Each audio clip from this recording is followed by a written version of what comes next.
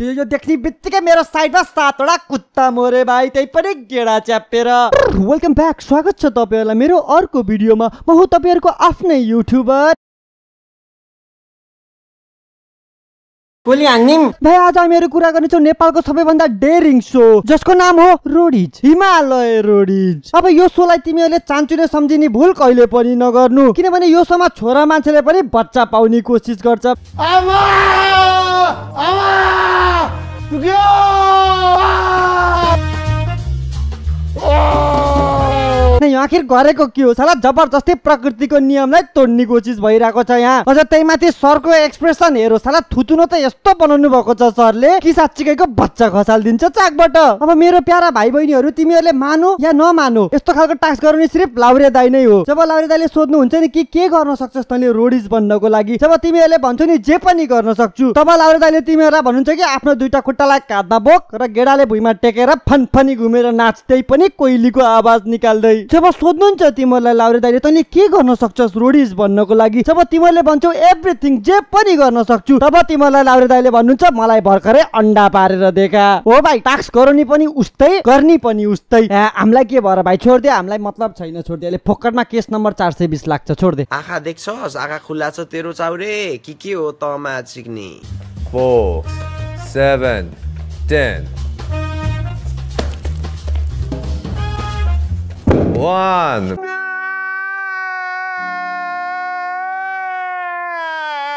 न यो आखिर रोडिजको लागि सेलेक्सन भइरहेको हो कि शक्तिमानको लागि बे? तर जेसुकै भन् भाइ म यो मान्छेलाई चाहिँ मान्छु भाइ ताली बजाइदियो एकचोटि यो मान्छेको लागि। दस फन्को घुमेर पनि हतौडा समात्न शुद्ध गइदियो बे यो। यसको ठाउँमा अरू कोही भएकर भमिट हानिदिन्थ्यो होला। छोरोमा दम चाहिँ छ भाइ। तिम्रो नाम के हो? आशिष। थुइया, माछाले भनेको माछाले। हो। तिम्रो जात के हो। मासले तिम्रो बाउको नाम के हो? This, Come on, Ashish. This is your task. सोधेको कुराको आन्सर मजाले दिन सक्दैन। सोधेको कुराको एन्सर चाहियो रे म्याडमलाई। नै भाइ आफ्नै बाउलाई गाली दिनु यो कहाँको टास्क हो? नै ल ठिक छ गाली दिए सिलेक्ट हुनु छ मलाई ल गाली दिए मैले ल ठिक छ मैले नेसनल टेलिभिजनमा आफ्नो बाउलाई आएर गाली दिए। यदि पछि म घर फर्केँ भने त बाउले मलाई उत्तर नपारेर हान्छ नि यार। त्यो कसले बुझ्छ यार? केटाहरूको त भाइ जिन्दगी नै खतम भइसक्यो। रियालिटी सोमा गयो भने जजहरूले गाड हान्छन् घरमा आए बाउले गाड हान्छ र कतै बाहिर घुम्न गए डन्ठेले गाड हान्छ। साला आत्महत्या गर्न यो के हो अनि के हुन्छ यो कन्डमले भनेर सोध्थेँ तपाईँलाई थाहा छैन कन्डम? थाहा छ यसको युज चाहिँ थाहा छैन मलाई यसको युज चाहिँ थाहा छैन मलाई। दाजु काठमाडौँमा टुडी खेल्छ हो त्यहाँ गएर ट्र्याक्टरले जोत्नु। प्लिज रियालिटी सोमा आएर यसरी जोत्त नहान्नु यार। अब बच्चा बच्चालाई थाहा हुन्छ भाइ कन्डम केमा युज हुन्छ भनेर। अहिलेको बच्चाले त भाइ गोजीमै सत्तरी असीवटा लिएर हिँड्छन्। तर हाम्रो सरलाई कन्डमको युजको बारेमा केही पनि थाहा छैन अरे। दाजुको उमेर हेर्दाखेरि पुरा सन्तानले डाँडा काँडा ढाकेको मान्छेको उमेर जति छ त्यही पनि दाजुलाई कन्डमको युज केमा हुन्छ थाहा छैन अरे। कि त दाजुले हामीलाई चुतिया बनाउन खोज्नु भएको कि त दाजु आफै चुतिया हो। साँच्ची दाजु कुनै हस्पिटलमा गएर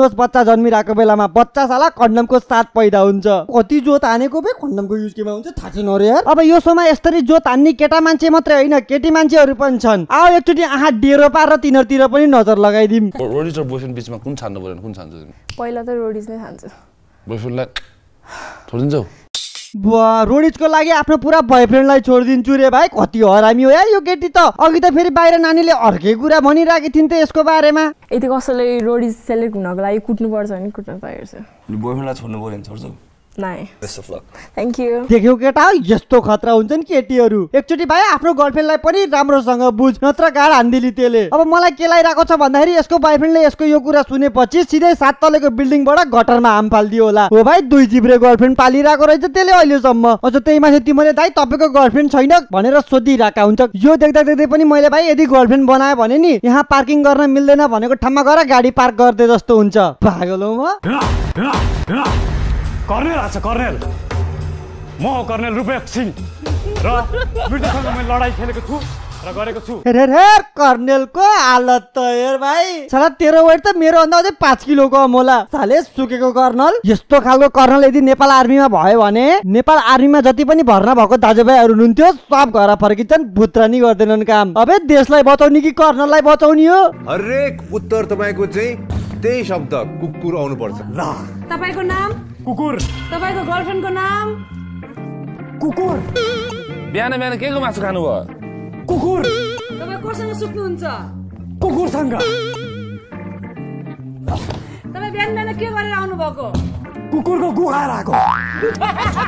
होइन आखिर यो डेरिङ सो हो कि रोस्टिङ सो हो? लास्टै बेइज्जत हानिरहेको छ नि त भाइ। होइन अडिसनमा सिलेक्ट हुनको लागि के आफ्नो बेइज्जत गराउनै पर्छ यो सोमा यार भाइ मान्छे र कुकुरमा अलिकति डिफ्रेन्ट त हुन्छ नि यार। यहाँ त छुट्टै किसिमको अडिसन चलिरहेको छ। त्यसो भने त हाम्रो कर्नल सरले पनि हाम्रो जजहरूको बेइज्जत हान्न सक्छन्। अलिकति सपोर्ट मैले दिए हुन्छ। ए कर्नल दाई लाउरेको गीत सुन्दा तपाईँलाई के कराए जस्तो लाग्छ? कुकुर। दिया मास्केलाई हेर्दाखेरि तपाईँलाई के जस्तो लाग्छ? कुकुर। लाउरे दाईको फेसकट हेर्दाखेरि तपाईँलाई के जस्तो लाग्छ? कुकुर। अनि कर्नल तिमी हेर्दाखेरि के जस्तो छौ? कुकुर। यार अब आजको लागि यति नै। मलाई पुग्यो केटाहरू। अब आजको लागि यति नै। अब ज जसलाई यो भिडियो मन पर्यो कृपया लाइक हानिदिनु होला। आज मेरो लाइक एम राख्दैछौँ। छ हजार लाइकको लागि। मैले भने नि लाइक पुरा नभइन्जेलसम्म लाइकको एम पुरा नभइन्जेलसम्म मैले अर्को भिडियो हाल्नेवाला छैन। मैले पनि यति दुःख गरेर भिडियो बनाउँछु यार। अलिकति लाइक गर्दैमा तिमीहरूको सम्पत्ति त जाँदैन नि यार। गरिदियो यार। र प्लिज जस्तै पनि मलाई फर्स्ट टाइम हेरिरहेको छ यार फर्स्ट टाइम मेरो च्यानलसम्म आइसकेको छ च्यानललाई सब्सक्राइब गर्नुहोस् यार। र साइडको बेल आइकनलाई पनि दबाउनुहोस्। जो जसले दबाएको छैन दबाइदियो केटाहरू। र जस्तै पनि मलाई फेसबुक ट्विटर इन्स्टाग्राममा फलो गरेको छैन लिङ्क किन डिस्क्रिप्सन ब्रो गएर फलो गर्न सक्नुहुन्छ तपाईँहरूले। गरो केटाहरू तिमीले फलो गरेपछि तिमीहरूसँगै बोल्ने हो म त्यहाँ आफ्नो छम्मासँग बोल्ने होइन। अब आजको लागि यति नै। छिटै म राम्रो नआएर खुल भिडियोको साथमा फेरि आउनेछु। त्यति जेलसम्मको लागि मलाई पनि बिदा दिनुहोस्। बाई। जय नेपाल।